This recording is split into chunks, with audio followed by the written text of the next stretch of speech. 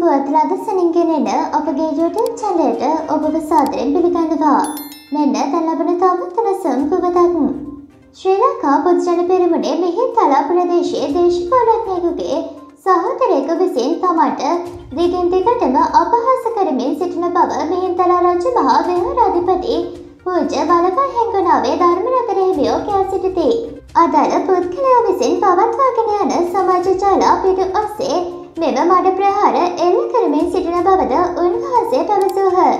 මිහින්තලා විහාරස්ථානයේදී පැවති මාධ්‍ය කැඳවීමෙන් උන්වහන්සේ මෙම අදහස් පළ කරන ලද අතර එම මාධ්‍ය හමුව සඳහා උන්වහන්සේ නෙළුම් පොහොට්ටු දෙකක්ද අතතිව පැමිණීම විශේෂත්වයක්. තමන් වහන්සේ මරා තමන බවටත් එසේ නොකරන්න නම් රුපියල් කෝටියක කප්පා මුදලක් යවන ලෙස තමන්ට දුරකථන ඇමතුම් මගින්ද දැනුම් දී ඇති බවත් උන්වහන්සේ තවදුරටත් එහිදී කියා සිටිහ.